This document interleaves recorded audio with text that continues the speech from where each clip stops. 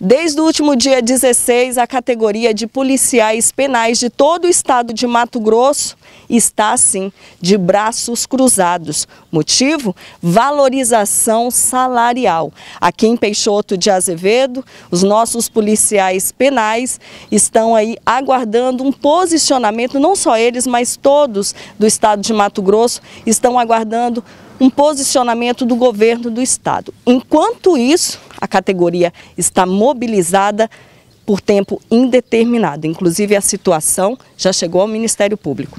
Isso mesmo, Noemi. O que, que acontece? É, nós queremos deixar claro para a sociedade mato-grossense para a sociedade peixotense né, e toda a região que nós não temos uma queda de braço com o judiciário, e nem muito menos com o legislativo, nem muito menos com a sociedade, que é o nosso maior bem.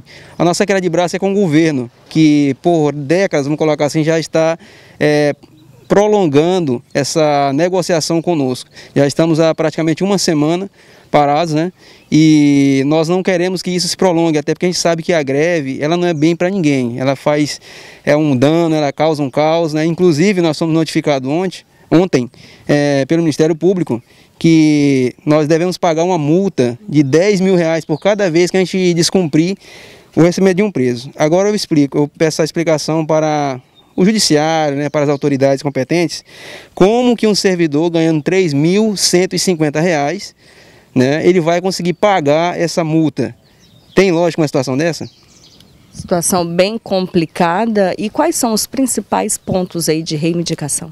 Então, Noemi, nós pedimos apenas a, a, o tratamento igualitário com as demais forças de segurança. Já visto né, que ele já tem uma, uma remuneração vamos colocar assim, razoável, né? Nós pedimos apenas uma, um tratamento igualitário com essas forças. Haja visto também que nós somos a segunda profissão mais estressante do mundo, segundo a OIT, né? Que é a Organização Internacional do Trabalho. Então o que a gente pede é simplesmente essa questão mesmo igualitária, né? E que o governador é, flexibilize essa situação e sente com a categoria para conversar para que a gente possa chegar a um denominador comum.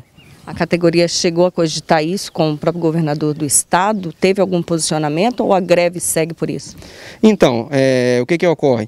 Na verdade, a gente já suspendeu a greve por duas vezes, né? Essa paralisação. E a, eles não chegaram a um censo, porque o que ele propôs para a gente não tem condições de a gente aceitar, que foi apenas 15%. Então, assim, esse valor de R$ 3.150 é um valor bruto, com os descontos de previdência, desconto é, da questão mesmo de imposto de renda, o, o, o, policial penal hoje vai receber em torno de pouco mais do que R$ reais. Tem condições de viver com uma situação dessa e ainda mais com uma multa dessa aqui, não tem condições. Ontem, quando o Ministério Público chegou, a categoria ficou até surpreendida com essa decisão.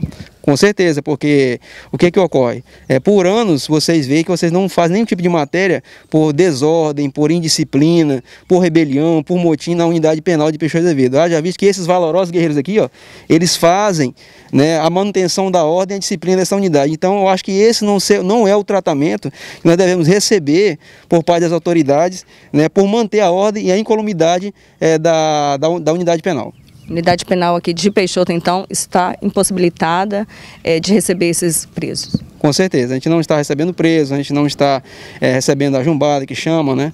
não estamos recebendo visitas, mas a, a, situação de emergência, urgência, atendimento médico, aos reclusos, alvará de soltura, isso aí está sendo, tá sendo feito sim.